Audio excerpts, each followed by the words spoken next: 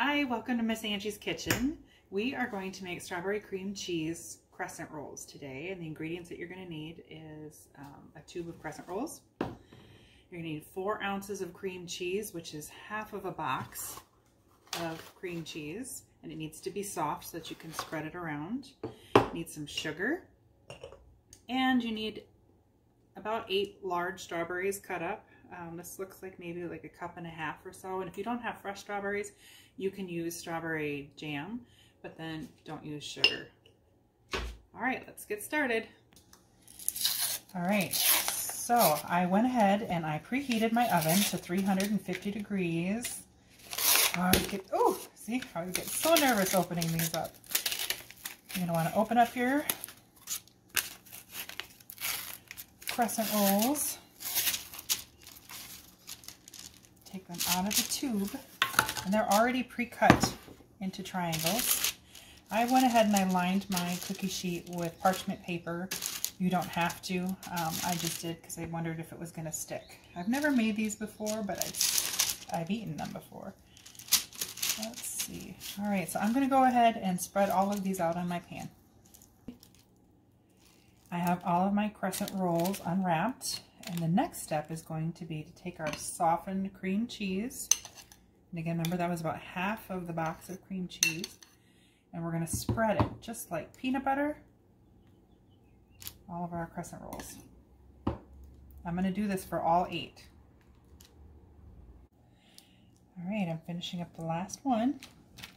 And again, I just spread it out just like you would with peanut butter.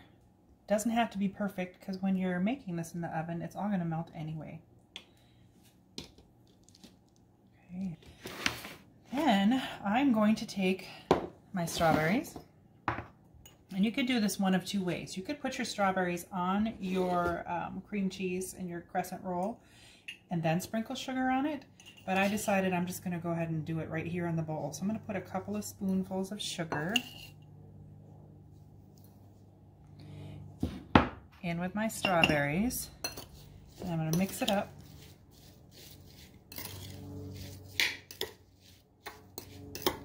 You don't have to put the sugar on there. You can leave it just like it is.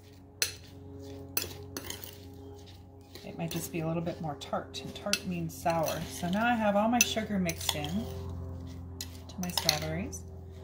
And I'm going to put strawberries on top of my cream cheese.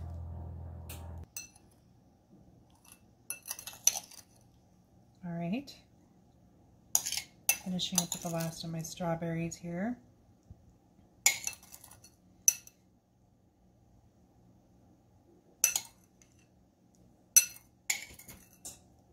Trying to see which one needs more.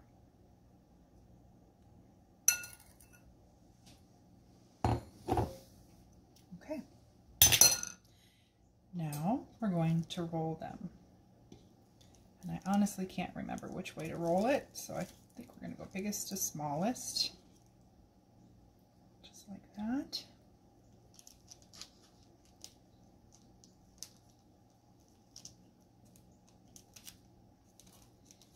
strawberries are escaping. All right, so I'm going to roll all eight of these. All right, so I just finished rolling the last of my um, crescent rolls.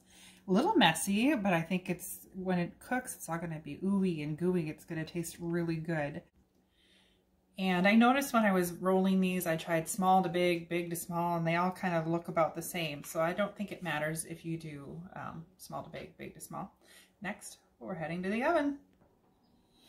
All right, putting this in the oven, 350 degrees for, the recipe says 13 to 15 minutes, I believe. So I'm gonna set it for 13 minutes